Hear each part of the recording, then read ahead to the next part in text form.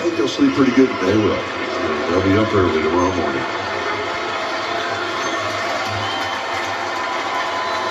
Three-two pitch. Got him, and that's the ball game. So Jackson strikes out the side.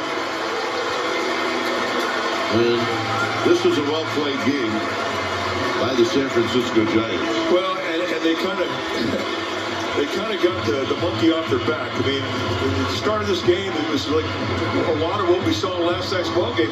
Every time they hit the ball hard to foul a glove, and finally they broke through, and then it just kept coming. Seven strong runs on the board, a nine-hit night for the Giants, and a great game for the Pen Kapler's got to get thrown out tomorrow, too. in the first inning. Absolutely. Give a little props to the manager for this one. Final score is the Giants seven and the Rays nothing. Thanks for joining us. There's nothing.